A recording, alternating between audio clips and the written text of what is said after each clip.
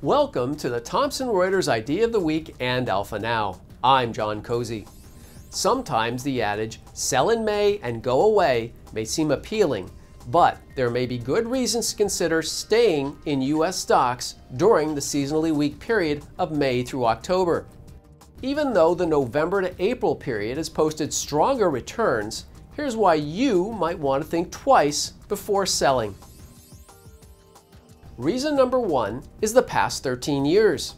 Using Thomson Reuters QA Studio for backtesting, we found a million dollars invested in the year 2000 dropped to 774,000 by the end of October 2012. But take out the big down years in 2002 and 2008 and a million becomes 1.4 million. So there must be opportunity around. This table shows certain sectors have done better, namely the more defensive consumer staples, healthcare, and utilities. They've actually produced positive results in the six month period May through October. Reason number two not to sell is that volatility provides opportunity. Short sellers had a holiday in 2002 and 2008, as well as double digit moves in some sectors in 2011. The longs saw 2003 and 2009 as strong years. Plus, information technology and telecommunication services did very well in 2010 and 2012, as well as other sectors in other years.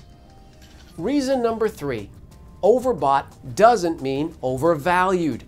The current forward 12 month PE ratio of 13.8 may be over the five year median of 12.7, but still remains below the long term average of 15.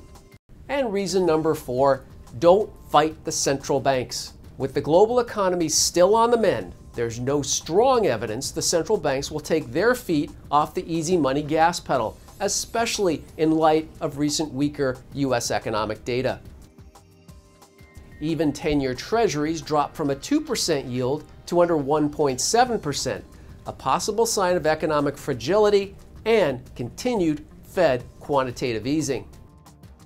Thanks for watching I'm John Kozey.